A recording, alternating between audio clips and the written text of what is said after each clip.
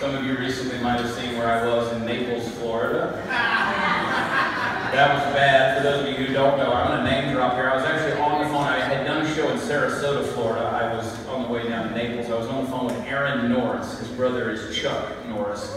And I was on the phone with Aaron. He's got a house there in Naples. And so I said, why don't you come to the show? He goes, dude, I can't come to the show. Went shark fishing, but my house is going to be empty. Why don't you just come and stay in our house tonight? And uh, he's got like a really, really nice house. And I said, well, I don't think we need to do that. I think the venue's already booked us a hotel where we're going to be. You understand there's more millionaires in Naples, Florida than any other city in America. It's one of the richest cities in America. And uh, so I looked at my buddy who was traveling with me, Steve McGrew, and I said, do we have a hotel? And he goes, yeah, we do. They, they booked it. He said, uh, it was only $55 a night. uh-uh. we go in, we go into the deal, and uh, there were the guys working behind the counter had tattoos down their face and on their neck and stuff like that. Like, I mean, I got tattoos, but not on my face. No offense to the main sponsor, but I look, I, I go in there and you know here come all the work crews that are coming in because it's starting to storm outside. The first rule of thumb is when you're checking into a hotel, they give you a key, like a metal key, like the one you go in your house with. Don't stay in that hotel. we go with plastic these days. So they give us the key and we go around to the back 40 of this place. I mean, way back. I was in room 121. I walk in the door and I was on the phone with somebody and I said, I got to call you back because I looked over to the left and there was this huge black and white picture of a man laying down on the beach with a woman on top of him. And I thought that's bold art for a hotel. Real family friendly there. And I looked over and then there's a big mirror over the bed. And then I, I looked over and it was couch that had a special shape to it and it was real thin. I was like, I don't think people sit on that. and then there was a diagram on the wall of how to use the couch in Spanish. And, uh, uh, then I almost walked, because of the mirrors on the wall in the corner, I couldn't see it. I almost walked into the pole that was there. So I got on Facebook, I did a Facebook Live of that, and uh, my skin crawled for three days. Some of you saw that video, and uh, it was horrible. So I, I appreciate the accommodations here. Just missing a pole. Plenty of mirrors. There is a couch. There's nothing in Spanish. Uh, I can remember, though, being a road warrior the way I am, I can remember going on the road and I'd stay in these $29 hotels, you know, these, these Howard Johnson Motel 6, no name, locally owned places. And uh, I well, got in one place, and I, I, was so mad. I got, I called the guy at the front desk on the phone. I said, I got a leak in my sink. He said, Go ahead.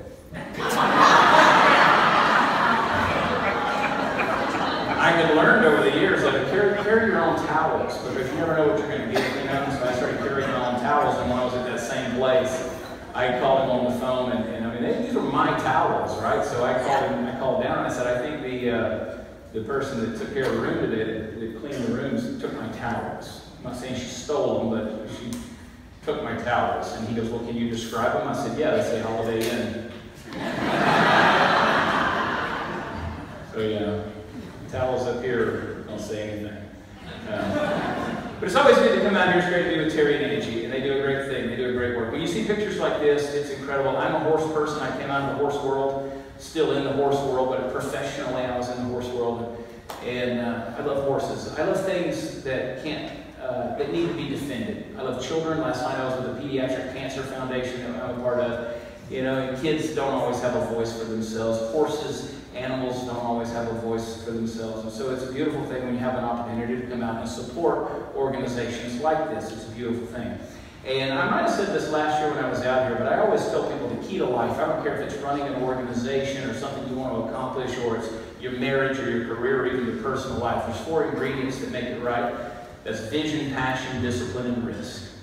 Vision is that ability to see beyond your four walls. You see beyond the boundaries of your life you see beyond your horizon. We don't know there could be a horrible accident that's taking place out here on the highway. We can't see it because we can't see past these four walls. The key to life, first of all, is to get a dream so big that you see beyond your limitations.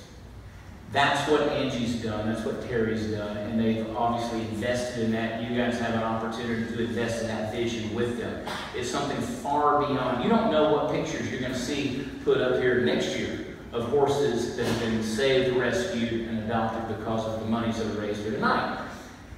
The beauty of it, this is why I'm always giving Angie a hard time about crying, is that vision always leads to passion. Passion is being inspired by what you see. It's that thing that gets you up in the morning. It's, it's being so, uh, having your life so revolutionized by the vision, by the thing that you see that you want to just tell everybody about it. And she's so good at doing that, so I, I wrote up here, I said, cry for money. she didn't do it, I'm a little pissed. Uh, I gave you gold, girl. Sorry. I gave you a shot, kid. Passion should lead, lead to discipline. Discipline is shaping your life in order to accomplish the vision. Uh, it's that football player that makes a beautiful diving catch but lands out of bounds and the referee says incomplete, out of bounds. It doesn't matter how beautiful it is or how gorgeous the pictures are, the cameras are going off, click, click, click. If you land out of the boundary, it doesn't count. And I tell people that shape your life to accomplish that vision. You need to be putting all of your energy and your effort into making sure that your dream comes true. They've certainly done that. That's why they come out here and they, they put up with people like me and, and folks like you who have done so much. It's, it's, it's disciplining your life, making sure events like this happen in order for the dream to be fulfilled. So vision leads to passion, passion leads to discipline, discipline leads to risk, and that is very simply to spend your life to accomplish the dream. Uh, so many people, they take aim at a target and they never pull the trigger. They never hear the word fire. Just aim, aim, aim. They always want to do something, but they never do it. The beautiful thing about this is we have the opportunity tonight to pull the trigger. We can do something about it. You've got all these silent auction items. You've got an opportunity to to uh, to give in the auction. You've got an opportunity throughout the year to donate. I mean, she talks about how much feed it takes to, to take care of these horses. Back at my place, we have something similar. We got 85 horses in our place. So I can tell you for certain it, it's a lot. And uh, it's risky. It's risky when you take on a venture like this. But whether it's a it's an organization like this, or your career, or your marriage, or your parenting, or your life, vision, passion, discipline, risk, I tell you, you got to do it in that order because if you don't, you're all messed up. Because risk without discipline is recklessness. It's like jumping out of an airplane without making sure that you took the discipline and packed the parachute correctly. Discipline without passion is legalism, it's just obeying the rules. That's no fun.